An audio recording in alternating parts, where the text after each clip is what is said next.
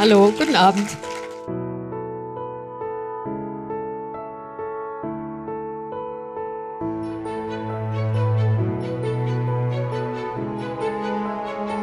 Und in dem Moment habe ich mir gedacht, boah, ist das ein Hammer.